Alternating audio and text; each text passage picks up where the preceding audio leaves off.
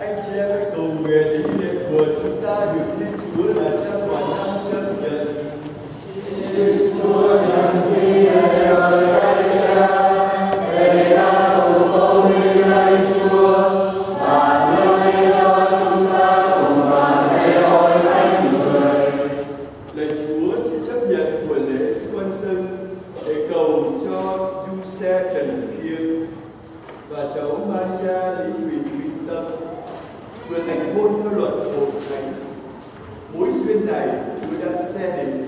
Xin phúc an bài cho họ được trăm năm hạnh phúc. Chúng con cầu xin nhờ Kitô chúa chúng con.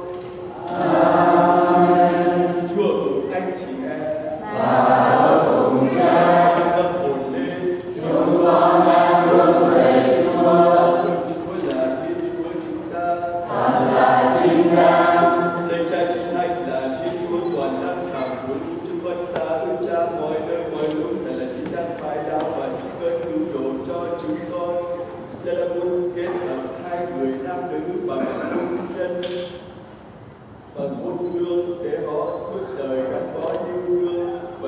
hòa thuận trong tình nghĩa vợ chồng.